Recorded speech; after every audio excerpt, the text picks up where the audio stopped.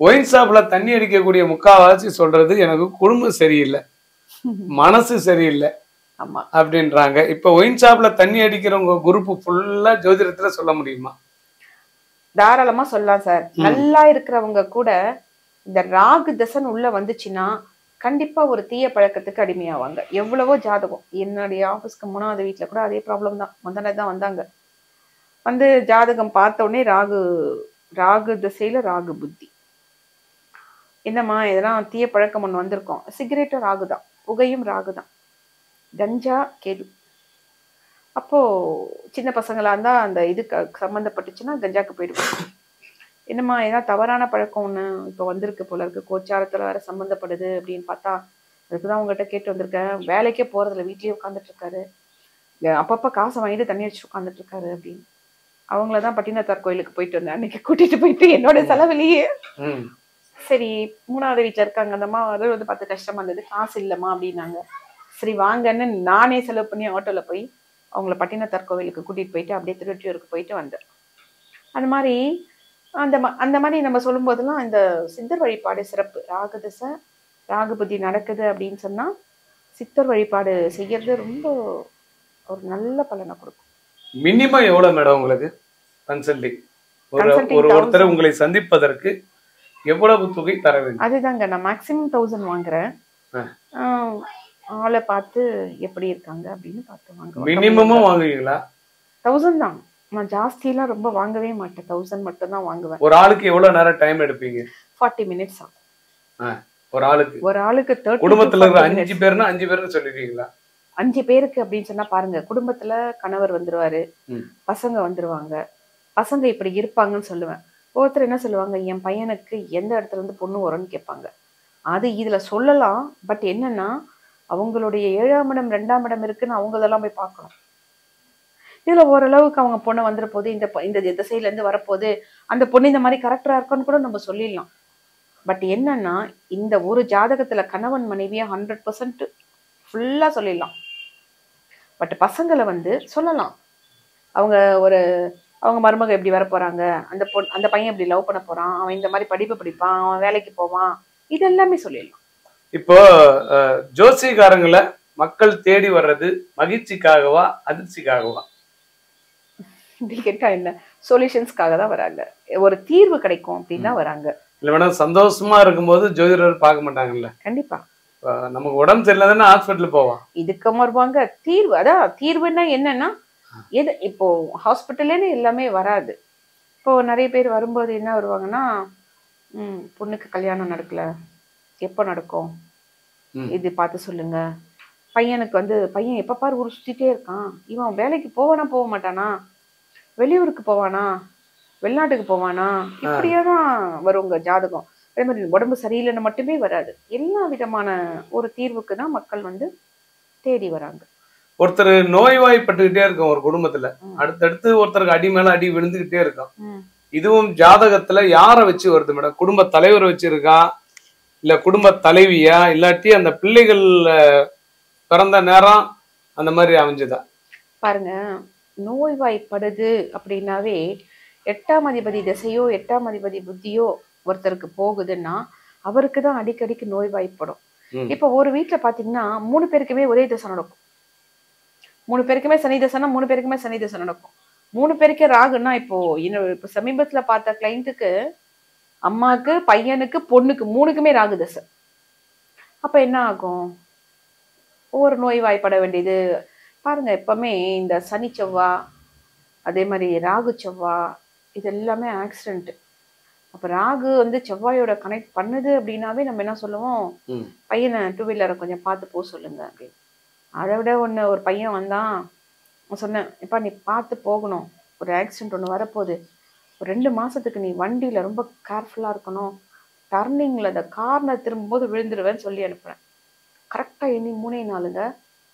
இந்த அவங்க தம்பி கூட காரில் வரான். இது ஃபுல்லாக பேண்டேஜ் இந்த பக்கம்லாம். அப்படியே வரான். மேம் மூணே நாள் தான் மேம் ஆச்சு. இதுக்கு முதல்ல பரிகாரம் சொல்லுங்க மேம் அப்படிங்கிறான். அதான் ஆயிடுச்சுல்ல அப்புறம் என்ன பரிகாரம்? அது அப்புறம் என்ன பரிகாரம் அப்படின்னு சொல்லிட்டு. மேம் நீங்க முதல்லயே பரிகாரம் சொல் நான் சொன்னேனேப்பா நீ கோவிலுக்கு போயிட்டு வான்னு சொன்னேனே. மூணு நாள் தானே மேடம் ஆச்சு அப்படின்னா. நான் என்ன சொன்னேன்?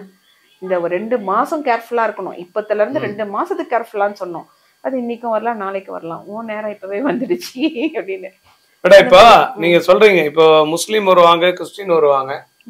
நீங்க சொல்றீங்க இந்த சிவன் கோயிலுக்கு போங்க இங்க ரெண்டு தேங்காய் ஓடிங்கன்னு. கண்டிப்பா இப்ப எல்லாருமே அதை எப்படி. ஏத்துக்கிறாங்க? ஏத்துக்கிறாங்க சார். அவங்க இப்போ ஒரு சமீபமா கிறிஸ்டின்காரங்க வந்தாங்க.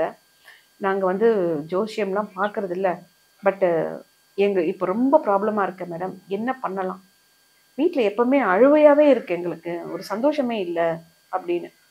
அப்போ பார்க்கும்போது அவங்க ஜாதகத்தை வாங்கி பார்க்கும் பொழுது இவருக்கு சரியான சூழல் சுத்திட்டு இருக்கும் நல்லா ஏன் சார் பிஸ்னஸ்ல இப்போ எப்படி சார்? போட்டிங்ல வந்து வா- எல்லாமே போயிருக்கேன் எப்படின்னு அதான் மேடம் போய் சிக்கிட்டேன்.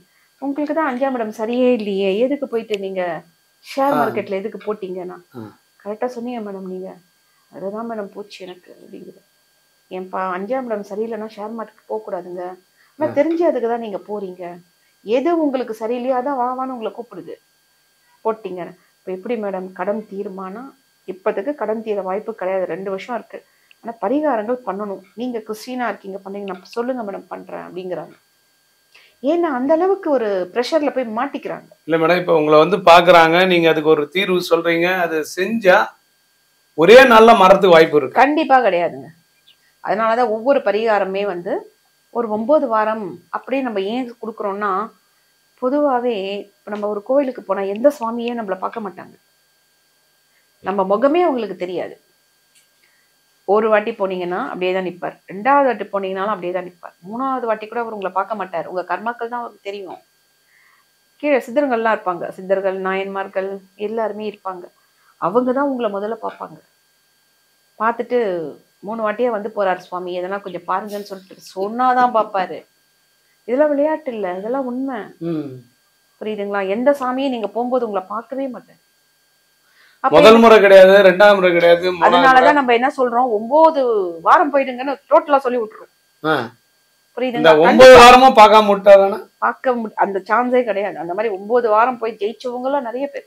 என்னோட கிளைண்ட் அவங்க வந்து அவங்க வீட்டுக்கார் இப்ப சமீபமா வந்து இவங்களை விட்டுட்டு ஏதோ இவங்களுக்குள்ள அந்த ஒரு நினைப்பு வேற பெண்ணை பாக்குறாங்க அப்படி இப்படிலாம் ஒரு நினைப்பு. ரெண்டு மூணு வாட்டி அவங்க செல்போன்லயும் பார்த்துருக்காங்க. பார்த்துட்டு என்கிட்ட வந்து இந்த மாதிரியே சொன்னாங்க. அப்போ நான் என்ன சொன்னேன் இப்போ போகிறது இந்த திசைமா அவர் அப்படி தான் இருப்பார் சுக்கிர தசை வச்சிருக்கு. அவர் இப்படிதான் இருப்பார் நீ பாத்தியா? ஆனால் உன்னை தவிர கல்யாணம்னு ஒன்றும் வரல அவருக்கு அங்கே அப்படின்னு சொன்னேன் அந்த பொண்ணு கேட்கல வந்து அழுதுகிட்டே இருந்தா. சரி பட்டினத்தார் கோயிலுக்கு போ ஒம்பது வாரம் விளக்கு வச்சுட்டு வந்து சொல்லுன்னு சொன்னான். சரி போனா. ஒன்பதாவது வாரம் நீங்கள் நம்பலாம் மாட்டீங்க இதெல்லாம் இதெல்லாம் மெய்ராக்கெல்லாம் இருக்கும் அப்படியே. ஏழாவது வாரமோ எட்டாவது வாரமோ வந்தா அவரே வந்து பசங்க பெரிய பெரிய பசங்க. என்னன்னா ஒரு ப்ளஸ் டூ படிக்கிற பையன் ஒரு ஜிம்முக்கு போற பையன். ஃபர்ஸ்ட் பையன் கிட்ட எல்லாம் வந்து ஏன்டா அவங்க அம்மா என்கிட்ட பேச மாட்டேங்கிறான்? அப்படிலாம் இல்லடா அவங்க அம்மாவை தர யாருமே பார்த்தது கிடையாது. அப்படின்னு இவரு இந்த அம்மா கிட்டேயே வந்து என்னை மன்னிச்சிரு அப்படின்னு சொல்லிட்டு கேட்டிருக்கேன் அப்ப இதெல்லாம் எவ்வளவு பெரிய மிராக்கள் அது. சோ நடந்திருக்கு. இதெல்லாம் நடக்கும். அவங்களுக்கே நடக்கும். எத்தனை பேர் இப்ப நீங்களே ஒண்ணு சொன்னா கூட நான் ஒரு பரிகாரம் சொன்னா செஞ்சுட்டு வந்து பாருங்க. ஹண்ட்ரட் பர்சன்ட் நடக்கும். இப்போ மேடம் இப்போ மனுஷனை யார் காப்பாத்துவாங்க? உலகத்துல யாரை நம்பி நம்ம பிறந்தோம்? சார் யாரை நம்பி நம்ம பிறக்கல? சார் யாரை நம்பி நம்ம போல? ம். பிறக்கிறதே அவரால் படைக்கப்பட்டதை தான் நம்ம பிறக்கிறோம் பிறக்கிறோம். இந்த ஜென்மத்துல நீங்க இங்க வந்து பிறந்து இந்த கஷ்டங்கள்லாம் அனுபவிக்கணும் அப்படின்னு ஒரு ரூல். அதுக்காக மட்டுமே பிறக்குறீங்க. போன ஜென்மத்தின் உள்ள கர்மாக்களை கழிக்க மட்டுமே இங்க வரீங்க இதெல்லாம் தீர்ந்துட்டோடனே போயிடுவீங்க. இது உங்க ஊர் கிடையாது. யாருக்குமே இந்த ஊர் கிடையாது. இப்போ சந்தர்ப்பம் ஒருத்தர் வந்து சந்தர்ப்பம் இருக்குன்னு தப்பு பண்றாங்க. ஒரு பணக்காரர் இருக்கார். அவர் நினைச்சா ஒரு பெண்ணை அடையலாம். ஒரு மதுவை குடிக்கலாம். அவர் என்ன வேணா பண்ணலாம். அவர்கிட்ட பணம் இருக்கு. அப்படின்னு நூல் விட்டுருவார் கடவுள். அந்த நூல் விட்டது எதுக்காக? அவருக்கு அந்த அனுபவிக்கணும் அந்த கர்மாக்களை கழிக்கணும். போன ஜென்மத்துல எல்லாம் நிலுவையில இருக்கும்ல. அதெல்லாம் இந்த ஜென்மத்துல பாருங்க. இது வந்து சொல்லணும்னா ஒரு இதுல எல்லாம் நம்ம இது மாதிரிலாம் சொல்ல முடியாது. இது மிகப்பெரிய பரம ரகசியம் இதெல்லாம். இதெல்லாம் வந்து ஒருத்தர் ஏன் பிறக்குறாங்க? ஏன் பொண்டாட்டி வந்து அவருக்கு வந்து ஒரு சாபக்கேடா வருது? இதுக்கெல்லாம் நிறைய பெரிய பெரிய நூட்கள்ல இருந்து படிச்சதெல்லாம் ஒரு இதுல எல்லாம் டேக் ஆகாது இல்ல மேடம் இப்ப சந்தர்ப்பம் வருது ஒருத்தருக்கு தவறு பண்றதுக்கு தவறு பண்றதுக்கு உண்டான பணங்கள் வருது. வாய்ப்பு வருது அப்படின்னா இறைவன் டெஸ்ட் பண்றாருன்னு அர்த்தமா? இல்ல ட்விஸ்ட் பண்றாருன்னு அர்த்தமா? உங்க வாயில இருந்து முதல்ல என்ன வந்தது? தவறு. தவறு பண்றாரு. அது. தவறுன்னு உங்களுக்கு தெரியுதுல்ல? ஏன் பண்றீங்க? அதுதான் என்னோட கேள்வி. தவறு அப்படின்னு தெரிஞ்ச அந்த தவறு தானே பண்றீங்க.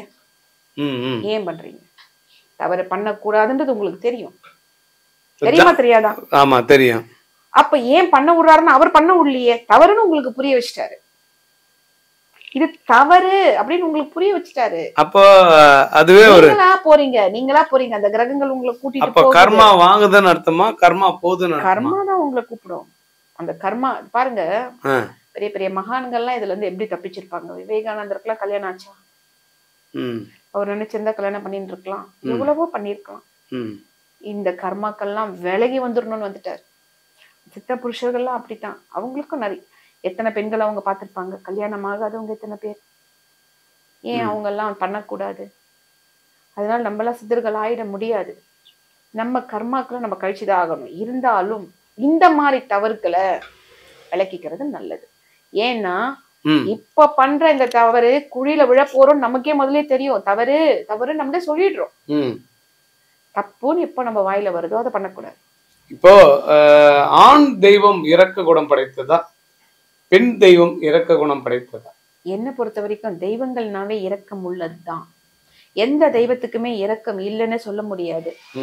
எல்லாமே இரக்கமுடையது தான் நீங்க நடந்துக்கிற முறையில தான் அது உங்களை பார்க்கும். எந்த தெய்வத்தையுமே பாசத்தோட போய் காலை பிடிச்சீங்கன்னா அப்படியாப்பட்ட உக்ர தெய்வம் கூட தணிஞ்சிரும். எந்த விளக்கு போட்டால் உடனே பிரச்சனை தீரும் மேடம். சார் நான் இப்போ என்னுடைய இதுல பாத்தீங்கன்னா உடனே பிரச்சனை தீரும் நான் எதுவுமே சொல்ல மாட்டேன்.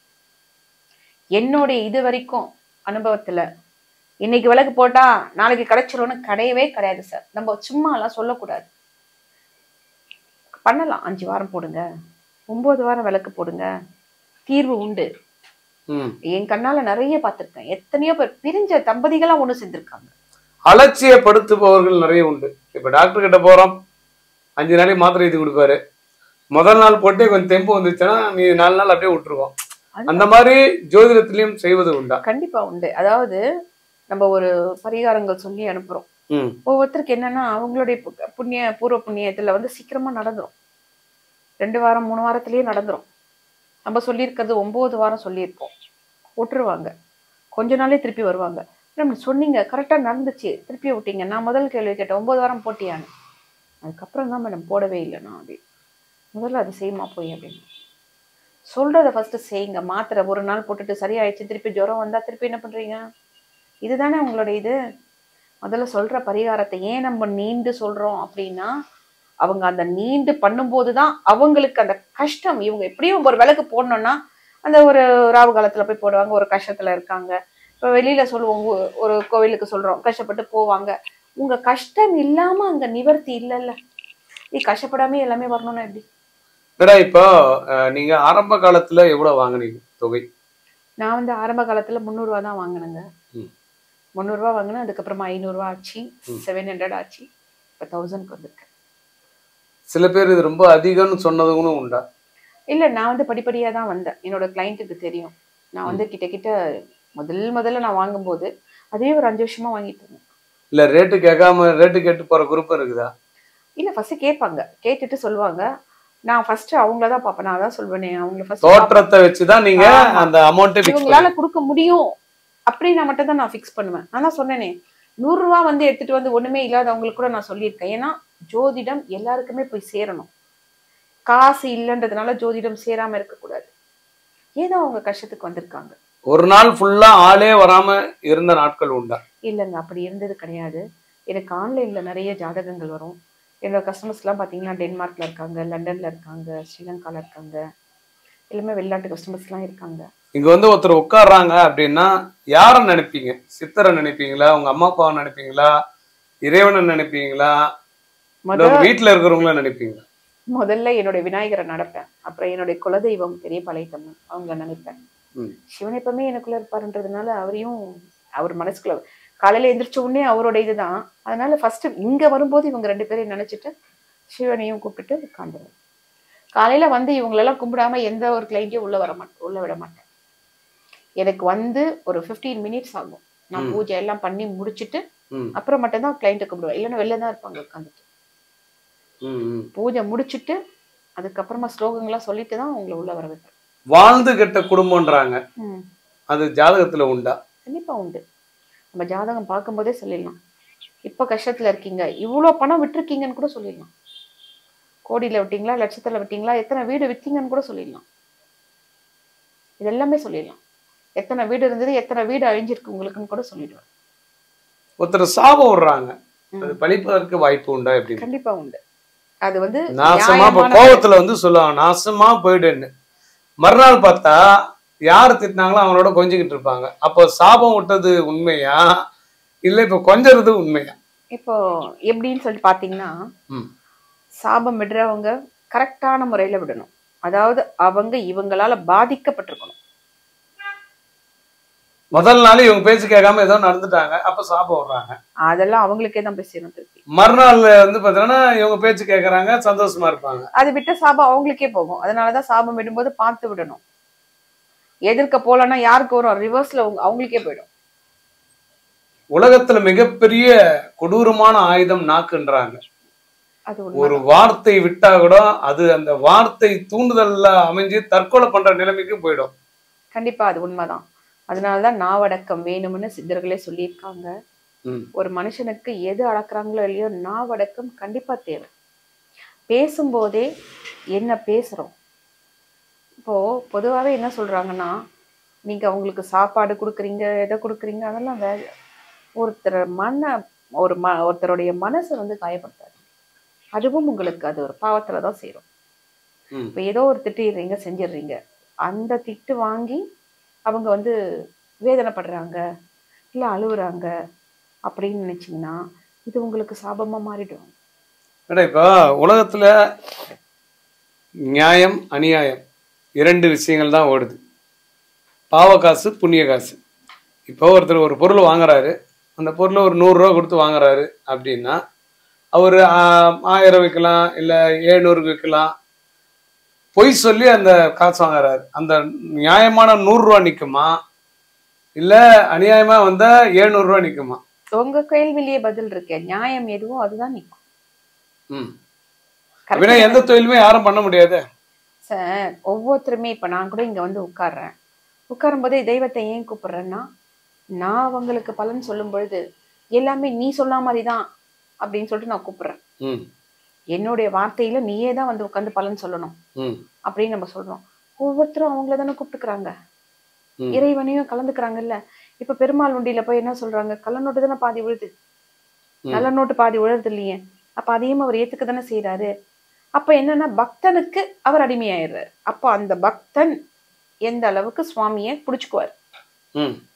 இதுதான். அதனால கலப்படம் பண்ணிட்டாங்க அவங்களுக்கு பாவம் வருமானா பங்கு அங்க போயிடுது இல்ல அப்ப அவர் தானே கணக்கு? ஆனா. பாவம் பாவம் தான். கலப்படம் கலப்படம் தான். அரிசியில மட்டும் கலப்படம் பண்ணவே கூடாது. என்கிட்ட நிறைய பேர் கேட்பாங்க யாராவது ஒரு உண்மையான யார் சொன்னா யார் கரெக்டான ஆளு அப்படின்னு கேக்குறாங்க. உலகத்துல உங்களுக்கு தெரிஞ்சு யாராவது ஒருத்தர் நல்லவர் சொல்ல முடியுமா நான் என்ன கேட்ட நான் என்ன சொல்வேன்னா ராமரை தவிர யாருமே ராமர் கிடையாதுன்னு தான் சொல்லுவேன் ஜனங்கள்ல. என்னன்னா ராமர் ஒருத்தர் தான் ஒருத்திக்கு ஒரு ஒருத்தரா வாழ்ந்தாரு. அது நம்ம ரொம்ப புராண கதையில போக வேண்டியது வரும். அதுக்கு அடுத்தடுத்து வந்த எல்லாமே வந்து ரொம்ப பயங்கர தடுமாற்றம் தான். அப்ப வந்து யாருமே ராமர் கிடையாது. ஏதோ ஒரு வகையில திரும்பியாச்சும் ஒரு பொண்ணை பாத்துடுறாங்க அது இயற்கை தானே. அதாவது நம்ம ஒரு பொண்ணு கிட்ட போகணும் தான் கிடையாது. பொண்ணை நினைச்சாலே பாவம் தான் அப்படி யார் ஒருத்தர் ஒரு பொண்ணை கூட திரும்பி பார்க்காம இருந்திருக்காரு? சொல்லுங்க. ஒரு ஒரு ஆண் தவறு செய்வதற்கு தூண்டக்கூடிய பெண்ணுக்கு தண்டனை உண்டா? இல்ல ஒரு பெண்ணுடைய ஆசைக்கு இணங்கக்கூடிய ஆணுக்கு தண்டனை உண்டா? ரெண்டு பேருக்குமே உண்டு சார். இவங்களால தானே அவர் தவறு பண்றாரு. இல்லையா? அதனால ரெண்டு பேருக்குமே உண்டுதான். தவறு பண்றதும் தவறுதான் தவறுக்கு கூப்பிடுறதும் தவறுதான். இப்ப ஆசை வார்த்தைகள் சொல்லிதான் லவ்ல ஏமாத்துறாங்க. நான் உன்னை கல்யாணம் பண்ணிக்கிறேன் அப்படின்னு சொல்லிட்டு உடல் ரீதியா அவங்க உறவை வச்சுட்டு கட்டி விட்டுறாங்க. அப்ப வந்து ஆணுக்கு தான் தண்டனை போகும். ஏன்னா பெண்ணு வந்து நம்பிடுறா. அவருடைய காதலன்னு ஏத்துக்கிறா அப்ப அவ அப்பாவி ஆயிடுறா இல்லையா? அப்ப அவளுக்கு எப்படி தண்டனை கொடுக்கும்? ஏமாத்தி பண்றவனுக்கு தானே தண்டனை? பெண் சாபம் மாதிரி ஆண் சாபத்துக்கு உண்டா மேடம்? உண்டு ஒரு சில இதெல்லாம் உண்டுதான். இதே வந்து இதை நான் அப்படியே ரிவர்ஸா சொல்றேன்.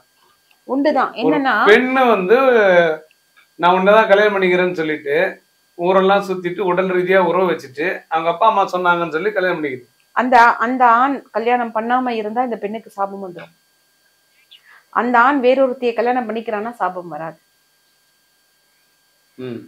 நிறைய வீடுகள்ல ஜோதிடத்துல கூட சொல்லுவீங்க. பெண் சாபம் ஒண்ணு இருக்கு உங்க வீட்டுலன்னு அது எப்படின்னா அந்த சாபம் அதுதான் சொல்றேன் நானு.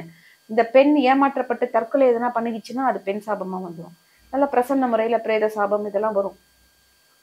இப்போ திருமணம் ஆகி ஒரு வீட்டுல ஒரு டெத்து நடந்துச்சுன்னா சின்ன பொண்ணு இறந்துச்சு சின்ன பையன் இறந்துட்டான் அப்படின்னா அது வந்து கன்னி தீட்டுன்றாங்க உண்மையில? ஆமா அது வந்து கன்னி அப்படியே நின்னுடும். அது அது வீட்டுல வந்து ஒரு தெய்வமா நின்னுடும். அதனாலதான் அந்த மாதிரி இறந்தவங்க எல்லாம் மோஸ்ட்லி கன்னி லக்னமா பிறந்துருவாங்க. இந்த கன்னி லக்னம்னா கண்ணியில இறந்தவங்க உண்டு அப்படின்னு நம்ம சொல்றது உண்டு. நிறைய பேர் வந்து திடீர்னு ஒரு வயசானவர் இறந்துருப்பாரு. கொஞ்ச நாள் கழிச்சு அந்த வீட்டுல ஒரு குழந்தை பிறந்திருக்கான். இறந்து தாத்தா தான் பிறந்திருக்காரு. பாருங்க ஐந்து மூன்று தலைமுறைக்கு ஒரு முறை அந்த குழந்தை திருப்பி வந்து பிறக்கும். இது சுழற்சி தான். உங்க குடும்பத்துல அவங்க தாத்தா தான் பிறந்துதான். ஆமா உங்க குடும்பத்துல உங்க அப்பா உங்க தாத்தா அவருக்கு மேல இருக்காரு இல்ல அது பெண்ணா இருக்கட்டும் ஆணா இருக்கட்டும் அது வந்து மறுபடியும் உங்க குடும்பத்துல ஒரு ஜீனா பிறக்கும். இதுதான் விதி ரூல். மூன்று தலைமுறைக்கு முன்னாடி இருக்கிறவங்க உங்க குடும்பத்துல திருப்பி வந்து பிறப்பாங்க. இது சித்த நூல்களில் உள்ளதுதான். உலகத்துல குழந்தையே இல்லாத ஒரு வாழ்க்கை வாழ்றாங்க பாத்தீங்களா தம்பதிகள். வாரிசே இல்லாம. அது கொடூரமா? இல்ல பேச்சுலராவே வாழ்க்கை வாழ்ந்துட்டு தன் வாழ்க்கையை முடிக்கிறாங்க பாருங்க. அது கொடூரம். பேச்சுலரா வாழறாங்கன்னா அவங்க சுத்தமா வாழறாங்கன்னா சித்த இதுல போயிடுவாங்க. அதாவது கடவுள் கீழே போயிடுவாங்க. எந்த தவறும் பண்ணாதான் அப்படியே தன் வாழ்நாள் முழுக்க இறைவனுக்கு அர்ப்பணிச்சிட்டு அது ஓகே பட் குழந்தை இல்லாம வாழும் தம்பதிகள் பாவப்பட்டவங்க தான். ஏன்னா மத்தவங்க குழந்தையோட இருக்கிறவங்க இதை பார்ப்பாங்க. நமக்கும் குழந்தை இல்லையே அப்படின்னு. அவங்களுக்கு பாத்தீங்கன்னா தத்தெடுக்க கூட அவங்களுக்கு விருப்பம் இருக்காது. தத்தெடுக்கணும்னாவே உங்களுக்கு கடகத்திலையும் கும்பத்திலையும் கிரகம் இல்லாம தத்தெடுக்க முடியாது. சோ அது கூட இல்லாம இருப்பாங்க அவங்க. கரெக்டா உங்களை எங்க வந்தா பார்க்கலாம் மேடம் வெளிவாக்கு ஆபீஸ்க்கு வந்தா இங்க பார்க்கலாம். என்னென்ன அவங்க கொண்டு வரணும்? உங்களிடம் ஜாதகம் பார்க்க வருபவர்கள். என்ன எதை கொண்டு வர வேண்டும்? அவங்க date of birth time place of birth இது இருந்தா நானே போட்டு கொடுத்துருவேன் இப்போ ஒரு ஆள் வர்றாங்க. அஞ்சு பேரோடதும் சொல்லணுமா? அஞ்சு ஆறு பேர் குடும்பத்துல இருக்கிறாங்கன்னா. அப்படிலாம் ஒண்ணும் இல்ல சார். நான் சொல்லுவேன். என்னன்னா. அந்த குடும்பத்துல இவங்க எப்படி இருந்திருப்பாங்க இவங்க நான் சொல்லுவேன். பட் அவங்க எப்படி சொல்றாங்க எனக்கு தெரியாது. நான் வந்து அவங்க குடும்பத்துல இருக்கிற எல்லாரையுமே கொஞ்சம் சேர்த்து தான் சொல்லுவேன். ஊருக்கு போறது கூட ஜோசிகார்கிட்ட கேட்ட குரூப்லாம் இருக்குது. இருக்காங்க. அந்த மாதிரி ஏதாவது கேஸ் பார்த்திருக்கீங்களா? இல்ல எனக்கு இது வரைக்கும் என்னன்னா இந்த சீமந்தம் பண்ணிட்டு அதே மாதிரி டாக்டர்ஸ்லாம் வந்திருக்காங்க. ஆப்ரேஷன் பண்றதுக்கு அவங்களே என்கிட்ட டேட்டு கேட்பாங்க என் பொண்ணோட இது இருக்கு. நீங்க டேட் குறிச்சு கொடுங்கன்னு. ஆனா நான் ஒரே ஒன்று சிம்பிளா அவங்களுக்கும் சொல்லுவேன். நான் டேட்டு குறிச்சு கொடுக்குறேன். ஆனா நான் கொடுக்கறதுக்கு முன்னாடியே பின்னாடி தான் குழந்தை பிறக்கும். வேணா பாருங்கன்னு சொல்லுவேன். இல்ல இல்ல. நாங்க ஹோல் ஃபேமிலி டாக்டர்ஸ் தான் சொல்லுவாங்க. ஓகே குறிச்சு கொடுப்பேன். அந்த மாதிரி ஐநாவரத்துல ஒரு டாக்டருக்கு குறிச்சு கொடுத்தேன். அந்த மேடம் வந்து ஓகே நான் எட்டு இருபத்தஞ்சு நைட்டு குறிச்சு கொடுத்தேன். அப்போ அந்த இதெல்லாம் சுத்தம் பார்த்து சரி இந்த இதுல பிறந்தா இந்த கிரகம் இந்த லக்னம் வரும் அப்படின்னு குறிச்சு கொடுத்தேன். அந்த அம்மா கார் எடுக்கிறாங்க கார் பஞ்சர் ஒரு முக்கால் மணி நேரம் ஆச்சு அந்த பஞ்சர் போட. அப்ப நான் குறிச்சு கொடுத்தது எட்டு இருபது. அந்த குழந்தை பிறந்தது ஒன்பது அஞ்சு. எப்படி இருப்பாங்க அப்ப யார் மேல மிஸ்டேக் யார் மேல மிஸ்டேக் இல்ல. கடவுள் அங்க உதிக்கணும் அப்படின்னா அவர் கையில தான் நூல். நம்ம கையில கிடையாது. நம்மள கருவிகள் தான். கருவிதான். கண்டிப்பா.